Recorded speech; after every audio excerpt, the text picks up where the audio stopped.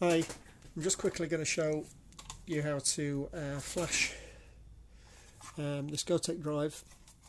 Um, I've done a few of these, I've used HXC firmware in the past but this time I thought I would uh, try Flash Floppy as uh, Flash Floppy firmware is free. Um, so I'll just quickly show you how to do that. So um, what I've done is I've populated uh, the holes on the motherboard with these pins. So uh, when you buy one of these it won't have these pins on. You'll have to uh, either just solder the wires directly in or you can solder um, these header pins like I have here. Um, the other thing you're going to need is a um, converter um, from USB to uh, FTDI 232 you can get these for a couple of pounds from eBay. I'll send uh, sorry I'll put a link in the description. And we're going to need um, some software to program the device a flash loader demonstrator. Again I'll put a link in there. And we'll also need the firmware file um, which uh, I've put I'll put a link into. I'm going to uh, use this version 2.13 flash floppy firmware. I'll put a link uh, in the description for that as well. So um, the first thing we'll do is we'll plug in um, the cables. So we need 5 volts ground, um, TX transmit and RX receive and we need to connect from this device here into the Gotek.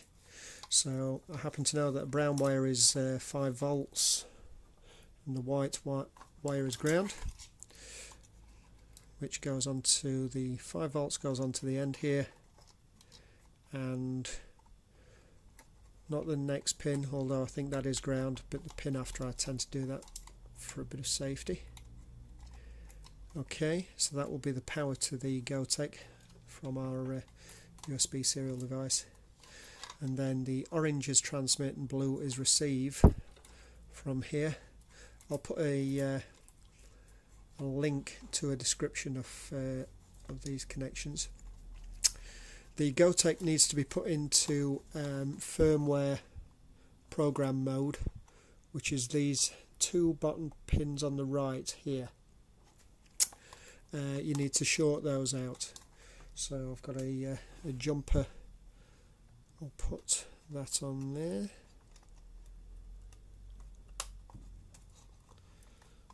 And that's that those two shorted out. And then we want our orange wire onto the middle pin of the bottom five. Let's transmit to the third from the right receive to the fourth from the right and then we can plug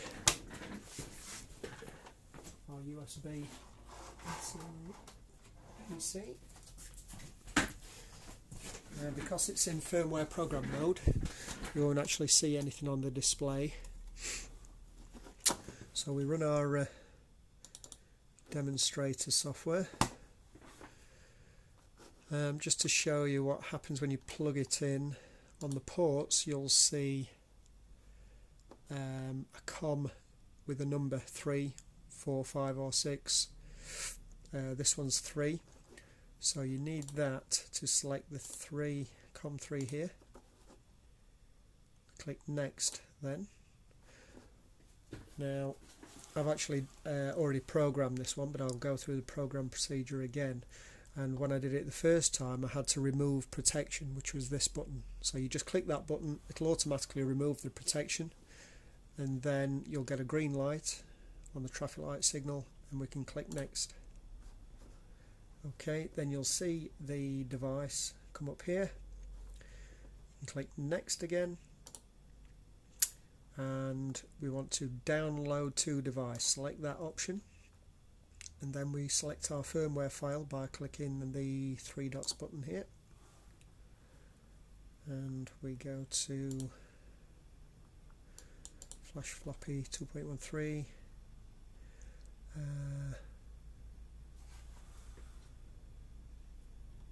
I think. Bear with me.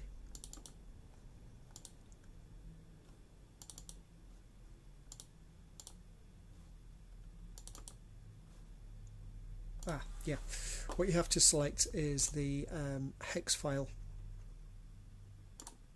here. And we'll just go back.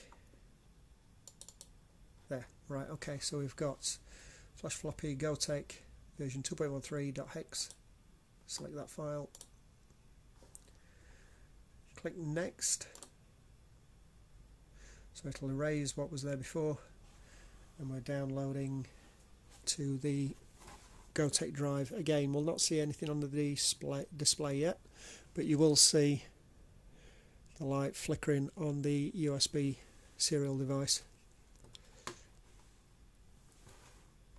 So I'll speed that up.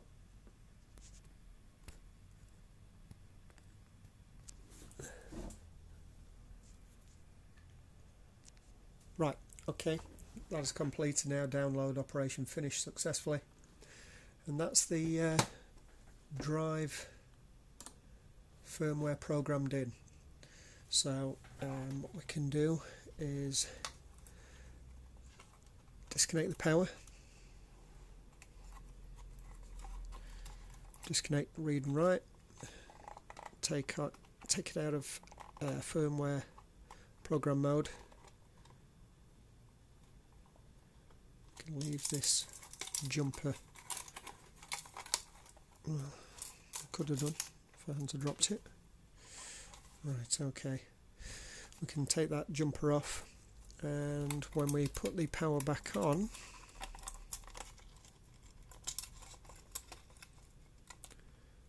see what we get on the display we get F-F which denotes flash floppy. Okay, that's it. So next I'll be looking at uh, using this device in a computer. So thanks for watching and uh, I'll see you soon.